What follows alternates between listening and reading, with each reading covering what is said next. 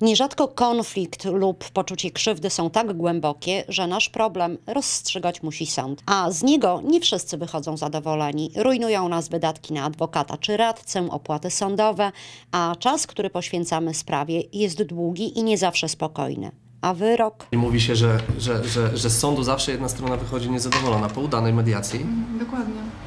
obie strony wychodzą zadowolone. Cóż, Temida swe wyroki opiera na twardym prawie i nie zawsze bierze pod uwagę targające nami emocje. Nie zawsze jest w stanie właściwie ocenić głębokość naszego poczucia krzywdy. To, co dla jednego jest zaledwie dyskomfortem, dla drugiego bywa katastrofą. Emocje są tym wątkiem niezwykle istotnym, szczególnie w pierwszym etapie postępowania, no ale mediatorzy są przygotowani do tego, żeby stosować odpowiednią technikę, E, bo tak często bywa, prawda, kiedy jest na przykład sprawa rozwodowa, e, jest poczucie krzywdy wzajemne, a więc tu mediator jest przygotowany do tego, żeby przepraszam, powiem to technicznym określeniem, przewentylować strony, to jest technika wentylacji i strony później jak poukładają się emocjonalnie, jest możliwe bardzo racjonalne dalsze postępowanie. I to rzeczywiście w wielu przypadkach sprawdza się.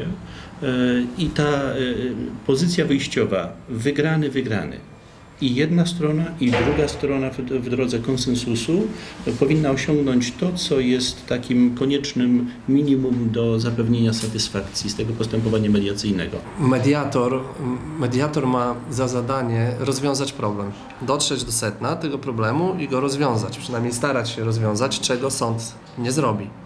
To jest główne zadanie mediatora. Jeżeli to zrobi, tak jak powiedział Pan przed chwilą, osiągamy, osiągamy ugodę, y, dochodzi do, do, do tej tak zwanej sprawiedliwości naprawczej. Mediacje mają także inny walor. Zdaniem specjalistów nieocenione jest ich oddziaływanie wychowawcze. Jeżeli nieletni dowie się na przykład, y, spotka się z osobą pokrzywdzoną, wysłucha tego, jakie skutki, jakie konsekwencje poniósł, poniosła ta osoba wskutek tego, że on zrobił coś y, niedobrego dla niego, e, też naprawi tą szkodę, to nie ma też motywacji do tego, żeby po raz kolejny to samo robić. Dla skonfliktowanych stron niebagatelne znaczenie mają również finanse. Opłaty w sprawach majątkowych idą w grube tysiące, a jeśli do tego doliczyć długotrwały proces i koszty pełnomocnictwa procesowego, to może się zdarzyć, że pokaźna część spornego majątku znika bezpowrotnie na takie właśnie wydatki. W sprawach rodzinnych również na koszty postępowania wydatki liczone są zazwyczaj w tysiącach. Mediacje są znacznie tańsze, a przy okazji niosą także faktyczne poczucie społecznej sprawiedliwości. koszty sprawy o podział majątku są niezwykle duże, natomiast koszt mediacji jest dużo mniejszy, tak? Tak, to jest, to jest sto, sto kilkanaście złotych z tego co wiem, z czego i tak sąd może potem zwolnić, także to, to na, naprawdę mówiąc y, krótko się opłaca. Z pewnością jest to niebagatelny walor tego rodzaju postępowania. W niemal każdej sprawie można sięgnąć po pomoc mediatora. Do mnie najczęściej trafiają sprawy, y, gdy y, opieki nad dziećmi, wtedy, wtedy, kiedy strony rozwodzą się i nie ma zgodności co do tego, jak dalej wychowywać dzieci. A więc to są te sprawy i również zdarzają się kwestie gospodarcze. Są jednak sprawy, w których mediacje nie odnoszą, jak wykazuje doświadczenie, pożądanego skutku i wówczas po takie rozwiązanie po prostu się nie sięga.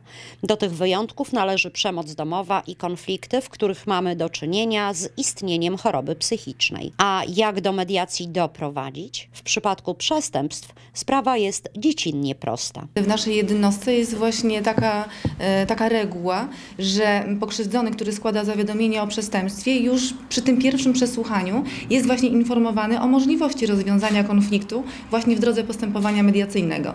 E, Otrzymuje odpowiedni druk, gdzie jak gdyby mm, określa swoją wolę, czy wyraża zgodę na przeprowadzenie postępowania mediacyjnego, czy też nie. Później z kolei podejrzany, jeżeli ma już przedstawione zarzuty, też jest, jest, jest pytany, czy wyraża, bo obie strony muszą wyrazić zgodę na mm, postępowanie mediacyjne, więc podejrzany też jest pytany, czy wyraża zgodę na przeprowadzenie tego postępowania mediacyjnego. I jeżeli dwie strony wyrażają zgodę, wtedy przesyłamy akta właśnie do przeprowadzenia postępowania mediacyjnego i już trafiają do mediatora. W innych sprawach, niezależnie od rodzaju sporu, można skierować swe kroki do policji, do sądu czy najbliższego ośrodka pomocy społecznej i tam uzyskamy nieodpłatnie wszystkie niezbędne informacje. Co ważne, mediacje mogą być zainicjowane na każdym etapie sprawy, nawet po rozpoczęciu procesu w sądzie.